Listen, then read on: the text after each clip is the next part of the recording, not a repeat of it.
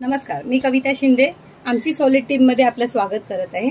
आज मी तुम्हाला शेगलाची भाजी कशी बनवायची ते दाखवते. मी एक जोडी शेगलाची भाजी घेतलेली आहे. ही मी त्याची पानं काढून घेतलेली आहे आणि याचे मध्ये मध्ये जे देठ असतील ते आपण काढून टाका कारण ते दाताखाली येतात लवकर शिजले नाही की. आणि त्यानंतर मी अर्धी वाटी ओलं खोबरं घेतलं आहे तीन हिरव्या मिरच्या मी मध्ये चिरून घेतलेल्या आहेत. आणि मी चवीनुसार मीठ घेतलं आहे मी एक मोठा चमचा तेल घेतला आहे आणि एक मोठा कांदा बारीक चिरून घेतला आहे चला तर मग आपण कृतीला सुरुवात करू. चला तर मी कृती करून दाखवते. आहे मी हे चमचाभर तेल कढईत टाकलं आहे आपलं तेल टाकलं आहे. मी तेलावर हिरवी मिरची टाकली. आता मी मिरचीवर कांदा टाकते.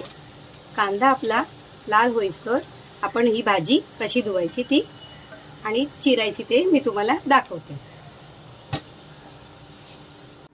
मी ही भाजी तुम्हाला एका बाऊलमध्ये घेतली आहे आणि मी आता ही भाजी तुम्हाला धुवून दोन दोन ते तीन पाण्याने ही भाजी धुवून घ्यायची.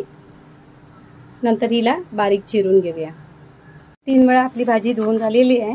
आता मी हिला बारीक चिरून घेते. आपला कांदा परतून झाला आहे आता मी त्यावर कापलेली भाजी टाकते. या भाजीवर आपल्या झाकण ठेवायचं नाही नाहीतर ही भाजी कडू लागते. आपली भाजी भाजी शिजली आहे.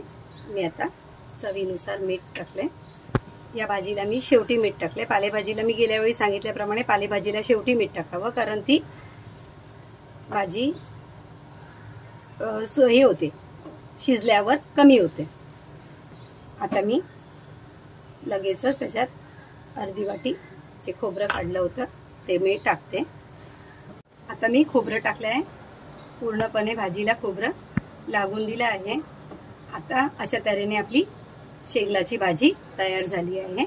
मी तुम्हाला ती सर्व करून दाखवते. आपण बघू शकता आपली शेगलाची भाजी तयार झाली आहे. जर तुम्हाला माझी शेगलाच्या भाजीची रेसिपी आवडली असेल तर लाईक करा सबस्क्राईब करा शेअर करा आणि कमेंट करून तुम्ही ही भाजी बनवून मला कशी झाली ते नक्की कळवा. थँक्यू